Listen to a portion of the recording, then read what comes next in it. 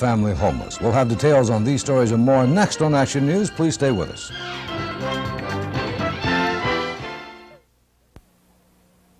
Oh boy, imagine your Carolina Chevy dealers. Yes to Chevy, yes.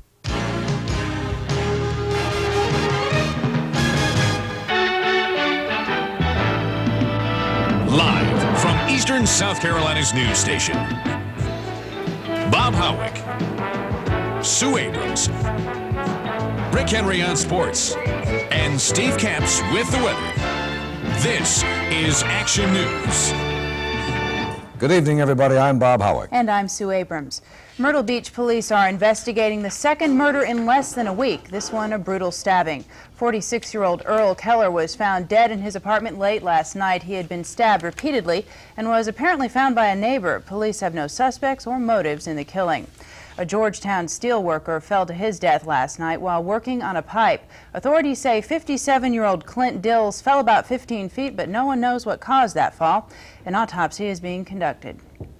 A Lee County man was killed in a mobile home fire last night. 57-year-old Harry Moses Sr. and his brother Willie were asleep in their trailer when that blaze broke out. Now, fire officials believe it started somewhere in the middle of the home. Willie was asleep near the front and managed to escape, but Harry, he apparently was trapped in the flames. The cause of the fire is still undetermined, but the fire chief, John Kelly, says it may have been started by a kerosene heater. And in Darlington County, all five members of the Kenneth DuBose family are safe but homeless tonight. Their small house was totally destroyed when one of their children apparently poured kerosene into a wood heater, causing an explosion. South Darlington County firemen were on the scene within minutes but couldn't save the house. A burning propane tank spread flames to a combine which had been parked very near the house. And in spite of all that, luckily, no one was hurt. Bob, fire investigators are still trying to determine what caused a blaze in Pamplico about noon today. The volunteer fire department wasn't able to save the big storage building at the corner of 5th and Walnut Streets. They believe it started in the rear of the building, which is owned by Johnny Yard of Pamplico. Again, no one was hurt. Without some rain soon, now we could see an increase in forest fires, and that has some state officials rather worried. Nearly two years ago, dry conditions fueled some of the most destructive woods fires ever seen in South Carolina. The situation is not yet critical, but District Ranger Jimmy McLaughlin urges everyone to be careful. Trying to do some uh, litter burning and cleaning of uh, yard areas, fields, and possibly even some woodland. However, I emphasize again, if you're going to do any of this burning, to please take every precaution and uh, let the Forestry Commission be notified of it.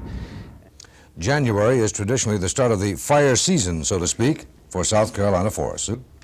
A Marion woman today was able to escape from her wrecked car moments before it caught fire.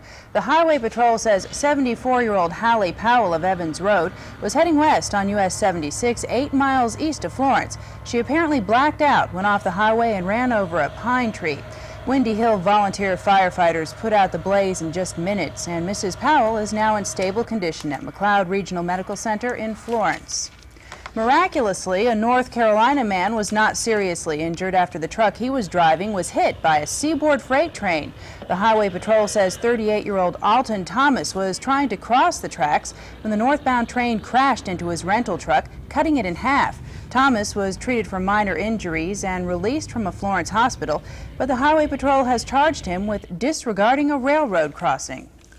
The Conway NAACP is still boycotting Mayor Ike Long's restaurants, but that may not last much longer. A settlement between Long and the civil rights group should be announced sometime this week. Now, after a meeting today with the NAACP president, H.H. H. Singleton, Long says much progress has been made since the racial remarks that started the whole controversy. And I feel like that, that maybe we're heading in the right direction to for, for his group to uh, participate and help Conway to be better. Uh, and I feel like if we if we hadn't gotten to this, it, we wouldn't be helping Conway.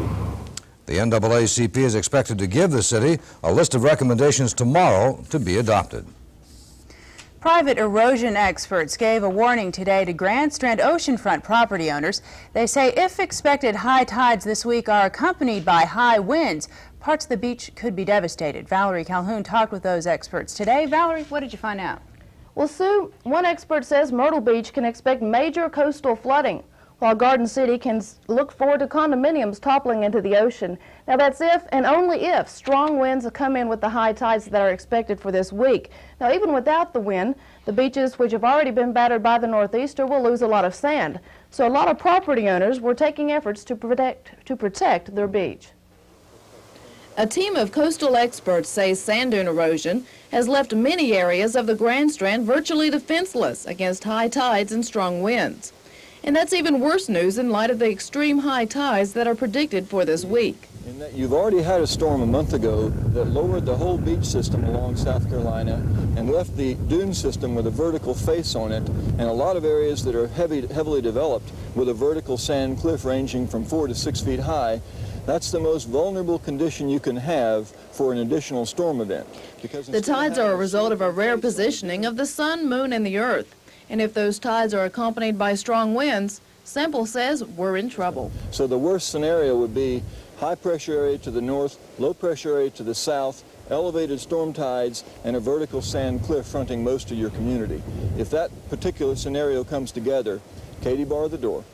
Fortunately, the Weather Service is not predicting strong winds. However, many oceanfront property owners are still getting ready for the tides. We're putting some extra sandbags out here, uh, primarily to, if we have another real high tide, to sort of break the energy of the wave before it gets to the base of, the, of what's left of our dune here at the Sheraton. Team Marine is a division of coastal erosion control. They have effectively controlled erosion on beaches in Florida.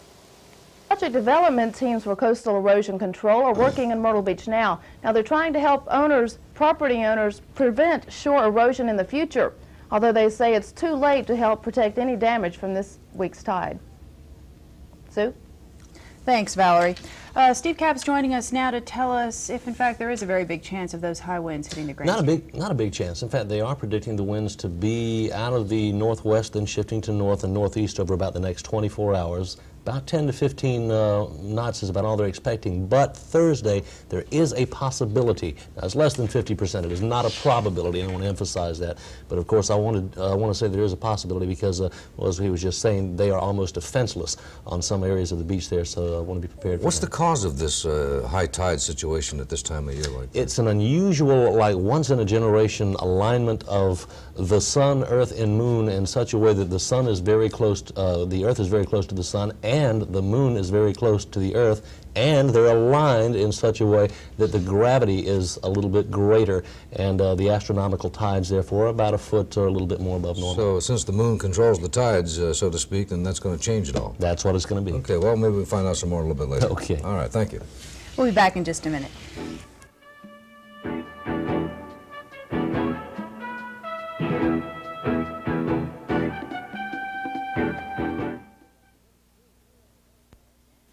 Better hurry. The great Ford year-end countdown lasts only one more day at your Carolina Ford dealers. This week they're featuring the Built Fun Tough Ford Bronco 2, and they've got plenty of 4x2s and 4x4s in stock.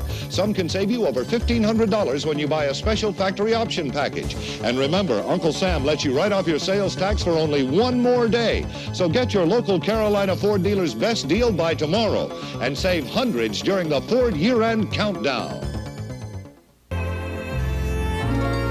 Have you got yourself a case of the winter blahs?